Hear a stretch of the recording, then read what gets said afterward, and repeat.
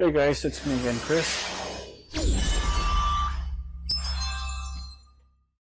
Hey guys, it's me again, Chris, and today we're gonna do a review of the Xiaomi Redmi Note 10. The good news is it's not gonna be as pathetic as my iPhone SE review because this time we actually have a sample. So before we proceed, unfortunately, I do not have an iPhone SE to show you.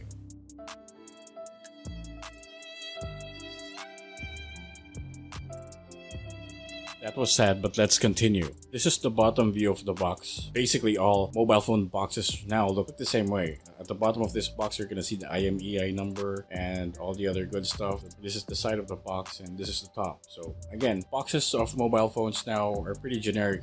They, they generally look a lot like each other. There's really nothing important or special there to talk about. So let's go ahead and jump right into the unboxing.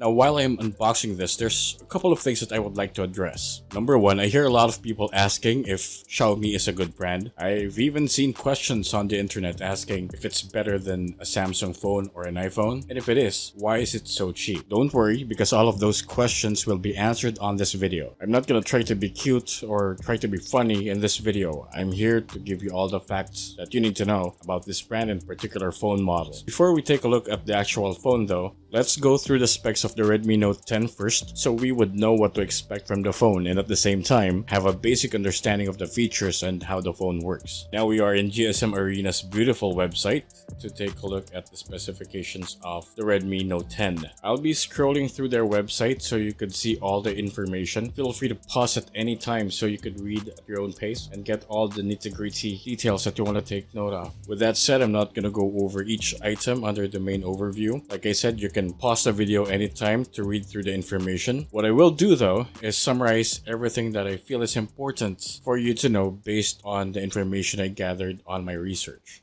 The Xiaomi Redmi Note 10 was released on March 16, 2021. The Note 10 Pro followed 8 days later on March 24. It weighs 178.8 grams and is 8.3 millimeter thick.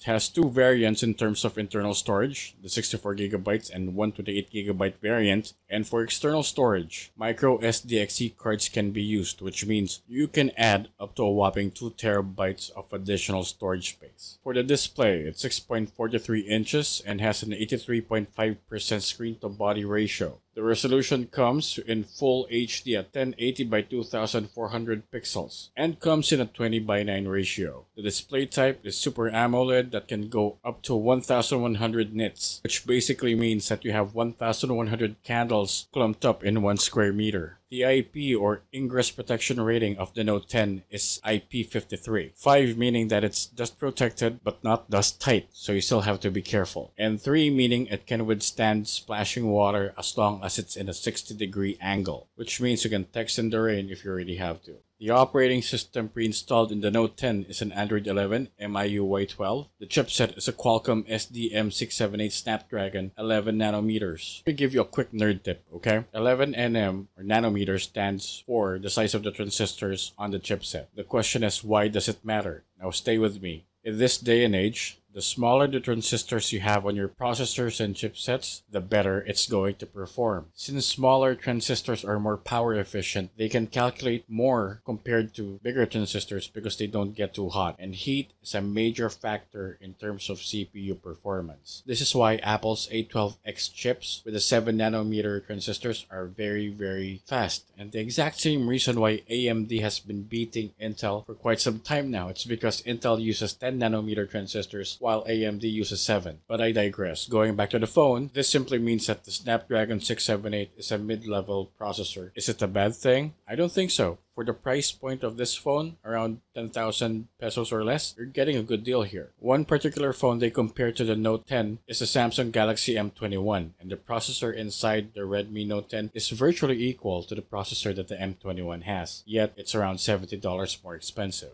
The Note 10 runs on an octa-core CPU with 2 cores running on 2.2 GHz Kryo 460 Gold and 6 cores running on 1.7 GHz Kryo 460 Silver. So CPU wise, it's in good shape for an all-around phone. GPU wise, I can run faster than the GPU. The Redmi Note 10 is running on a Qualcomm Adreno 612 GPU. It's a mid-tier GPU from 5 years ago. Enough said. Before we proceed with the camera, let me just point out that the Redmi Note 10 does not support 5G. Just something to think about just in case you're thinking of buying this phone, aside from the GPU of course. I'll talk more about the GPU later on.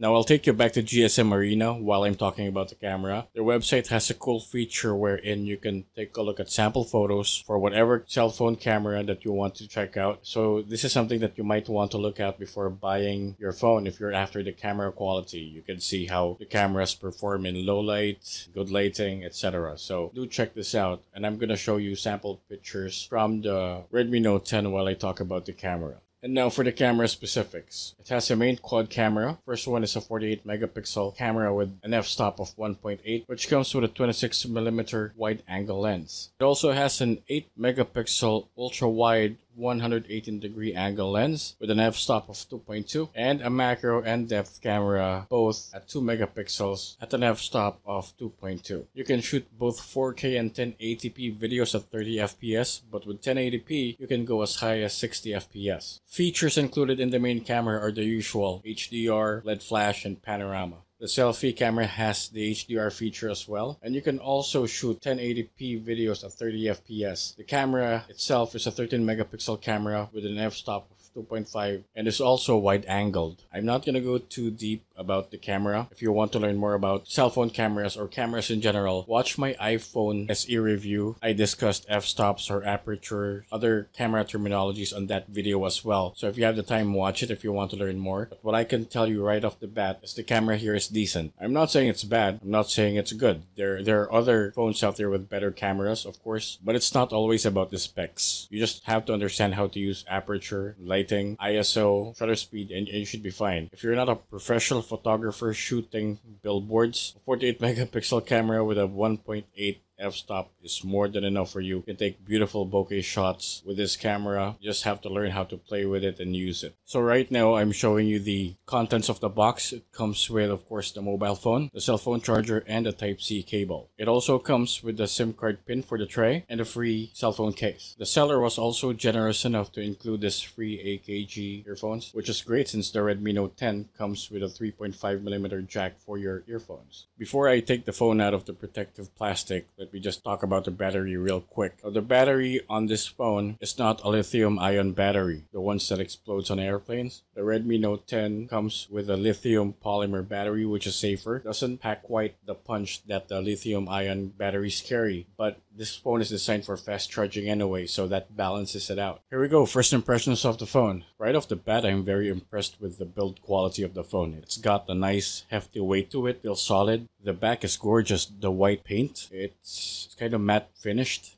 Looks really nice and it doesn't feel like it's gonna slip off my hand. It actually re reminds me of a Samsung A71, though this one's a lot more attractive. I like the feel better. The fact that the back is non-slip, I love it. And one more thing that I love about mobile phones nowadays is they come pre-installed with screen protectors considering that this phone is actually protected by Corning Gorilla Glass 3 it just gives that additional protection from scratches. This phone looks really nice. I want to show you as much detail as possible. Apologies for the bad lighting in the room. While the camera is focusing let me tell you about the comms included on this phone. It has Wi-Fi or WLAN Bluetooth GPS infrared port radio and of course the USB type C but doesn't have NFC I read somewhere that in certain parts of Asia they released the same model with NFC, but this one doesn't have it. This phone also comes with different sensor features such as fingerprint, accelerometer for choppy shake, proximity, gyroscope, and compass.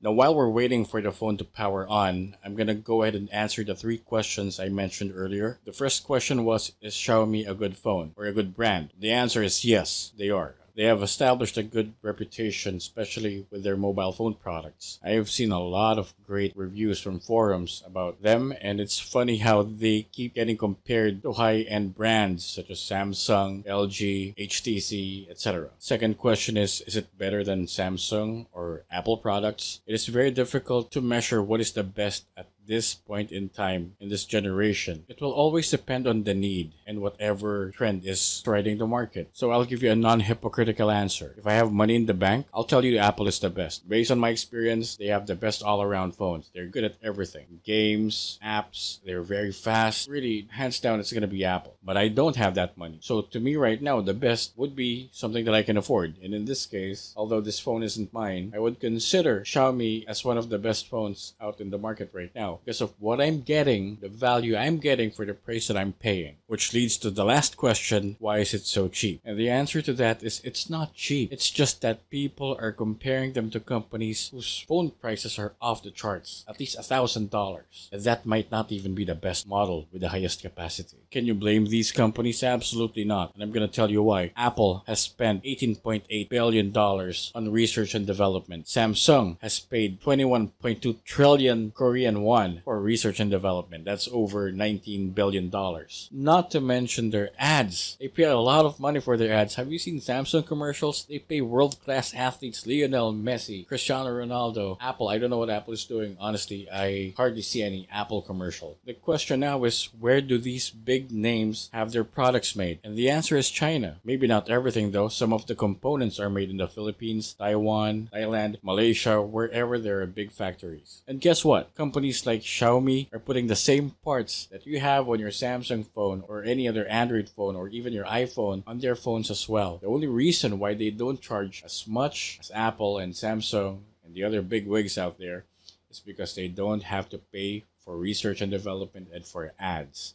They choose not to make ads. They choose not to invest on research and development because they have been copying designs from these companies who's been asking them to make the phones for them. I'm very sorry for that long banter. I just needed to put it out there so people will understand why some companies charge lower than others. Having a more affordable price range doesn't always necessarily mean that you have bad products. Anyway, the the camera is having a hard time capturing the image on the screen of the phone because the brightness is too high and I can't adjust it right now because I have to go through all the mumbo jumbo setting up the phone before I can toggle the settings. Now I'm finally done setting up the phone so we're just gonna test it out right now, check how responsive it is. Gonna check the camera as well of course and the audio. So at this point I realized that my lavalier was acting up. My the mic on my camera was acting up. So I'm not sure if I'm gonna be able to let you hear how the phone sounds like. It sounds great though. The stereo speakers on this phone is of great quality so very happy with that. I'm gonna try to see if I can at least extract a short clip for you guys so you could hear how the phone sounds like. For now, I'm gonna go ahead and take a couple of pictures since we can now see the phone screen much clearer through the camera.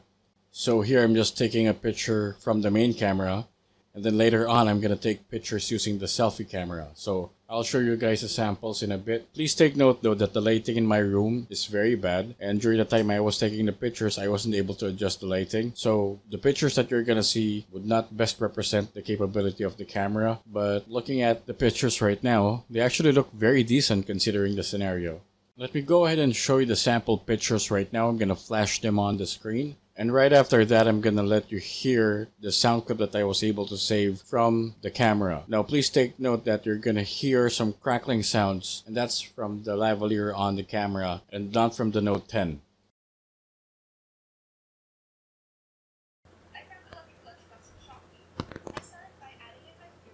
closing everything securely, and plugging in the wire. The red light in this lunchbox is heating up. Unplug everything when you're done. There's also a compartment for your utensil. And voila, you can enjoy a perfectly warm meal. The lunchbox worked really well. 10 out of 10 would definitely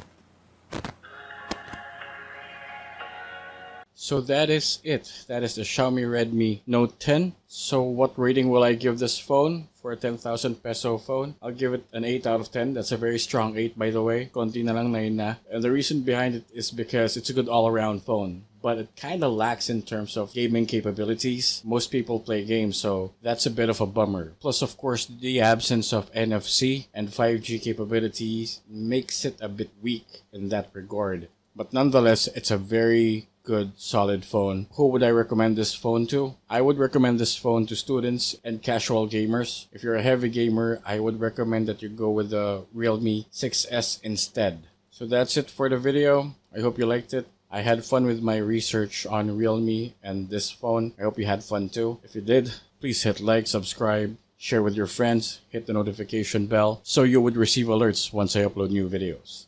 Thank you so much for watching guys. Catch you on the next video. Peace.